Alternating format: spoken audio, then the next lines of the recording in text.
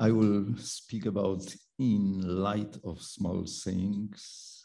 As you remember, the preface of this famous book by Jeff, it was In the Shadow of Big Things. And I, I think we are all the time under the shadow of big things.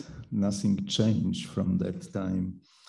Jeff was writing that book, but at least we have this path of light illumination uh, around small things. And I want to say a few words. Why is it is so important, so influential into my practical work um, and in the worldview? Uh, and what is this connection between Jeff Goldfarb, whom I've met years ago when he visited my town, small town, Sejny in Poland, and at the beginning, at the very beginning, the feeling was that we know each other since all time, and there was kind of brotherhood. What was behind that encounter power of this encounter. And what happened with the kitchen table, which once existed in a communist Poland in the 70s and 80s when Jeff visited us, our country. What happened with this kitchen table after 1989? Where it is today? Where is this table? Uh, I so I think behind our meeting uh, encounter, there are a few important things. One of them is the theater. I am a part of Polish alternative theater movement in the 70s and 80s, and maybe not exactly the theater uh, is writing about in his book because he is writing mostly about this direct political public theater in the 70s. My story is a little bit after that when the question for my colleagues and me was do, that doing this anthropological theater based on expeditions to the local communities, first in Poland, then in different corners of the world, you know, Europe, in South America, in Australia, uh, where ancient, ancient cultures still survive. That we didn't have a culture to give back. So it was based on receiving gifts from that communities. They were sharing with us songs, rituals, memories, dances, the most intimate treasures they had. And we were collecting, uh, collecting them, building an avant-garde performances on the basis of that, and never came back. Never uh, did we have chance to give back. There was not, so because we ended up on the festivals usually, as theater did at, uh, at that time. So one of the sources of creating the Borderland Center was to stay with people, uh, with the theater, and even in the cost of the theater, because at the beginning we stopped to be a theater group uh, when we uh, ended up in a small town, borderland town, Sejny, uh, in Poland. But the major thing was to stay with people. And to do something together, to, to listen, to hear, and then to find answers, how we can use our craft, artistic craft, theater craft to transmit the memories, experiences uh, into the art form. So this is about the theater. The second background, I think, is poetry. And uh, the, the person who connects us is Czesław Miłosz, mentioned by Elżbieta before, and but we had we just uh, spoke with Jeff in the lunch break about the long conversation we had together about Miłosz poetry. And why poetry? Because Miłosz was a, a very special poet for not only Poland, I think, on, on, on, on that part of the world, which disconnected poetry with this romantic, emotional attitude to the poetry, that this is something irrational, you know, messy, which, I mean, the poetry which try to connect us with uh, uh, spiritual dimension of life and so on. Miłosz, in contrary, was a poet teaching us that the poetry is about the details, the concrete, and the truthfulness of uh, concrete things. That you should build your language. The poetry is like building a language which is precise, which is truthful, and uh, which is faithful to your inner or social experiences. And not only thinking about poems politically engaged because he was writing such kind of poems as well, but also concerning spiritual life. The spiritual is based on concrete and truthfulness to reality, in contrary to what we think being, you know, romantic uh, uh, tradition of, uh, of poetry. And I think this is something what uh, Jeff Ketch from this uh, Miłosz uh, poetry tradition. So I received a letter from Czesław Miłosz, the first letter I, I received from him when we established Borderland Center. It was exactly about that you are doing, uh, you are going to do something after communist time, after 1989, which will be based on concrete and with respect to details, to individual life, to, uh, to the truthfulness, to the reality. So it was like a, to be anti-communist, you know, at that time, it, uh, it meant that you are based with your work on something what is individual, concrete, and anti-ideological in any, any way. And the third background for, uh, for us, I think, is Jewishness. I, I don't know if you ever think about the connection between the politics of small things and Jewishness. But I have a friend, uh, he's an Italian writer living in Trieste, Claudio Magris, uh, being himself the borderlander.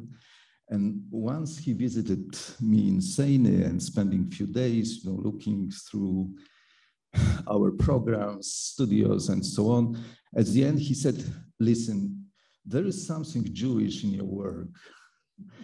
But this is not about that you are revitalize a former synagogue or that you publish books about Polish-Jewish relationships or you have a Jewish theme in your performance, but you are Jewish because you believe that in a small town you can build a, small, a center of the world. There is something Jewish in, in the politics of small things. This belief that the small town, the small community could be the center of the world, that the libraries they have, the schools, the yeshiva, could be the most ambitious, uh, you know, from the philosophical, theological, uh, cultural point of view. And you don't need to go to big centers to to fulfill your ambitions uh, in any dimension. So mm, this is, I think, also behind our encounter. But now I want to say a few words about the kitchen table.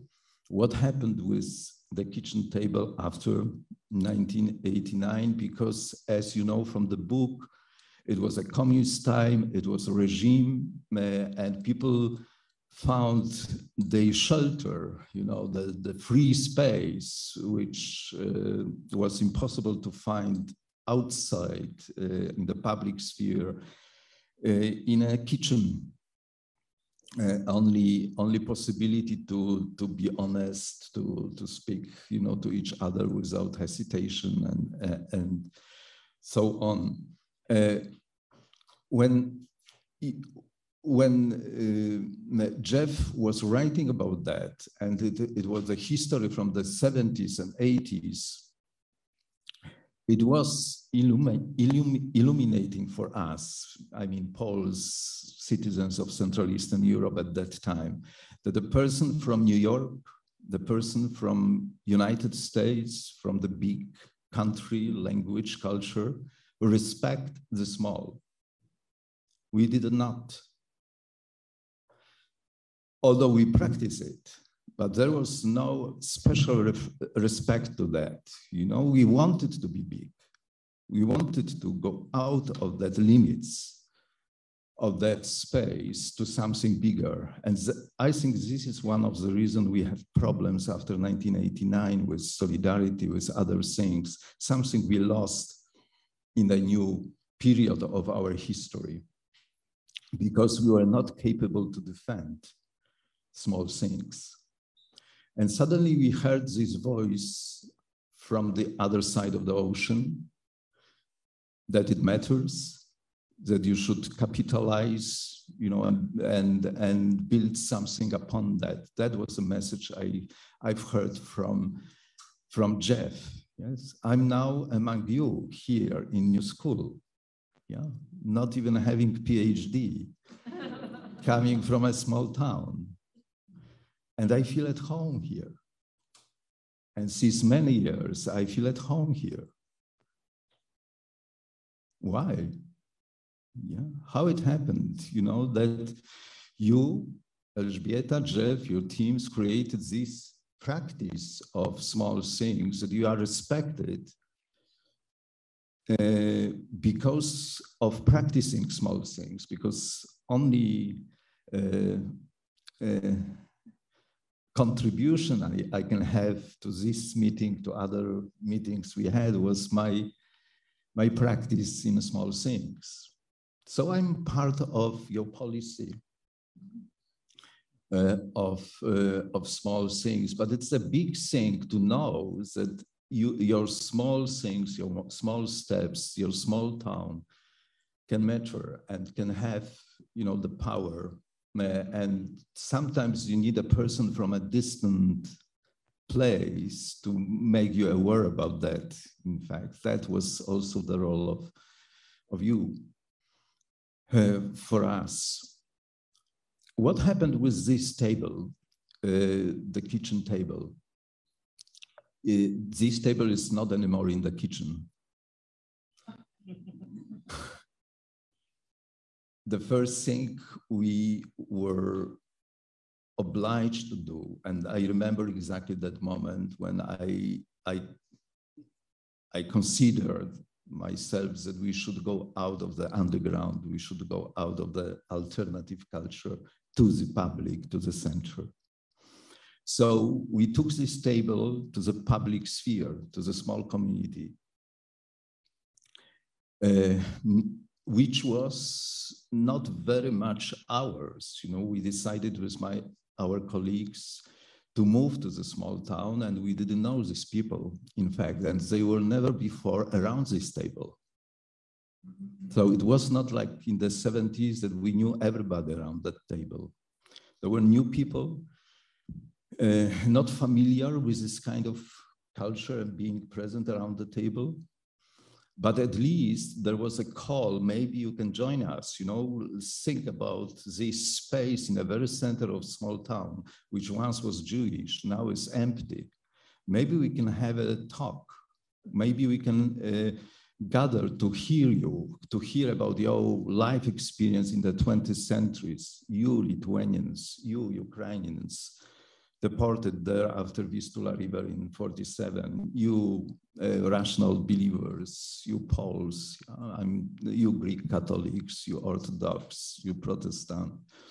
Let's talk. Yeah. So the first gathering around this table in a synagogue, in a former synagogue, was about that. Just and it was for, for the first time to, to gather the whole multicultural community around one table, taking them from different tables they usually had in their houses, you know, because of their nationality, religion difference, uh, uh, and so on. So to, to make this table slowly common.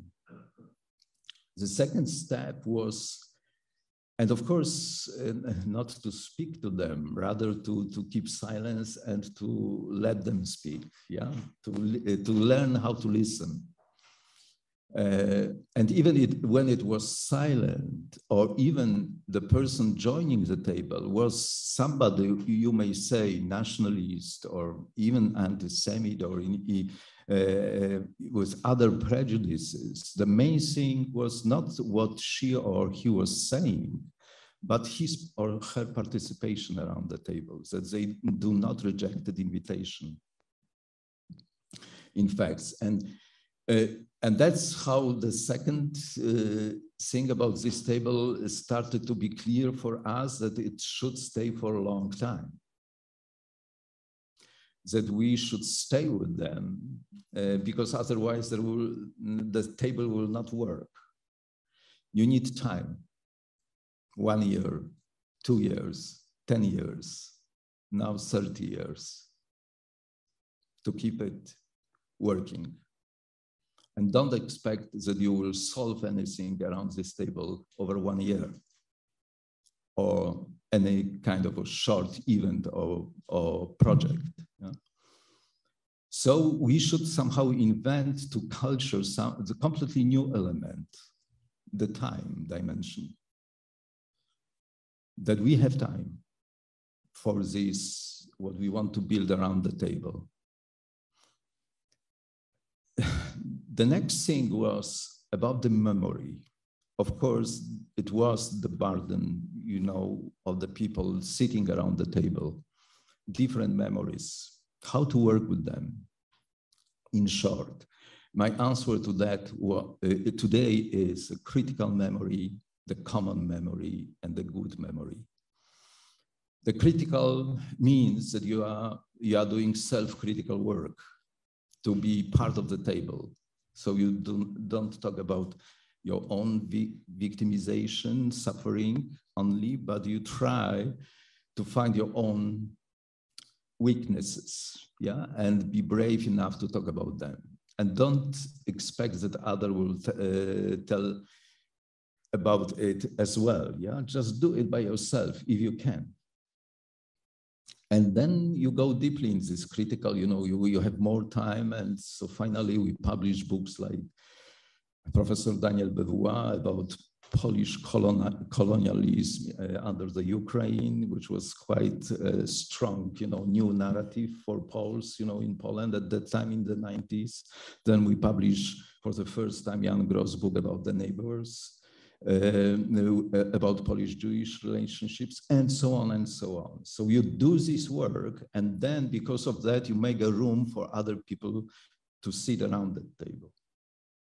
The third, uh, the second is common memory, which was, which is still, you know, maybe difficult to imagine, but we know that we have different stories, different memories, but can we share the, something in common in uh, our memories? And, and the third one, which is most difficult, Uh, in fact, is to give, to allow ourselves or to struggle for dig up a good memory from inside of us, of the community.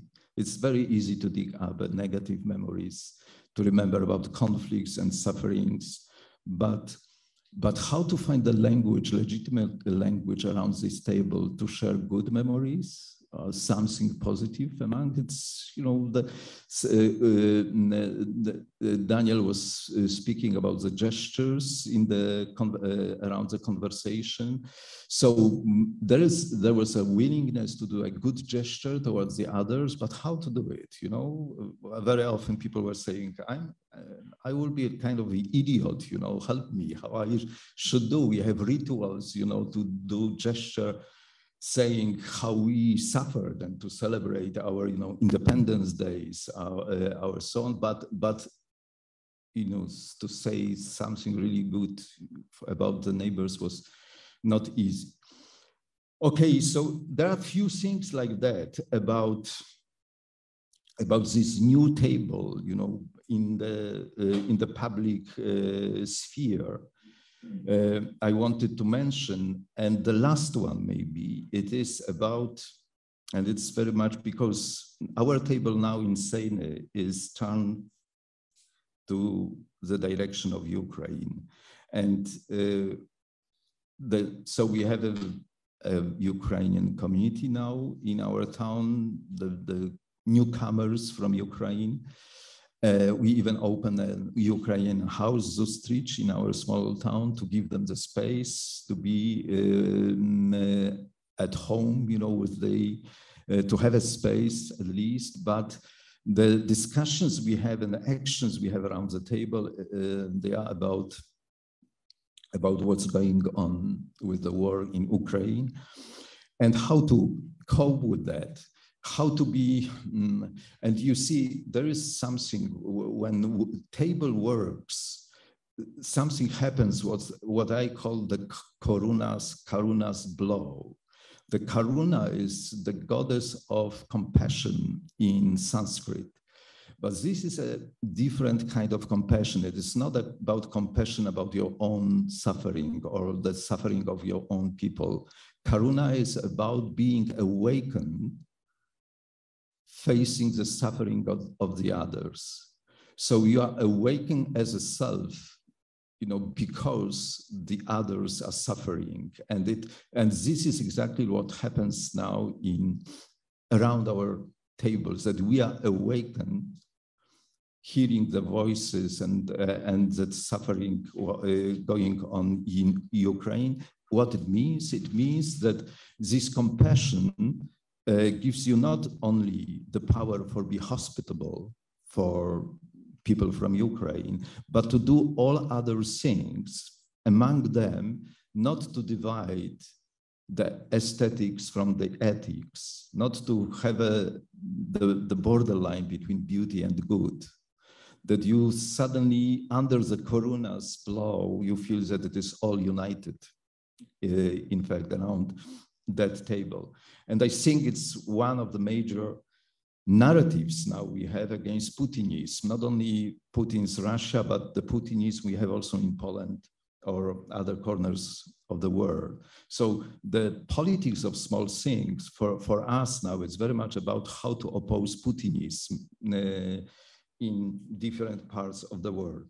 And the last quotation I, I have I want to share with you. It's part of my manifesto, Small Center of the World, but it is translated by Marci Shore, but uh, Jeff edited in, in a very masterful way uh, this text, and I want to read you one uh, acapit from that text. An art, specially nurtured in a small center of the world, is an acceptance of gifts this art speaks to the fact that we are not self-sufficient. Life is a communing, a being together created by the obligation to reciprocate gifts. The world turns to us through gifts. We can choose to not accept them, to not reciprocate. We can choose to exploit them against the intentions with which they were offered. This gives us a feeling of independence and mastery. But the small center of the world is not the hub of the universe. It is codependent, free precisely through its responsibility for coexistence. A small center of the world exists insofar as others can contribute gifts. Reading this, I want to say thank you to Jeff Goldfarb, giving us occasion to give, to offer the gifts to him. We are so rich now. You know? and doing that, he is the center of the world. but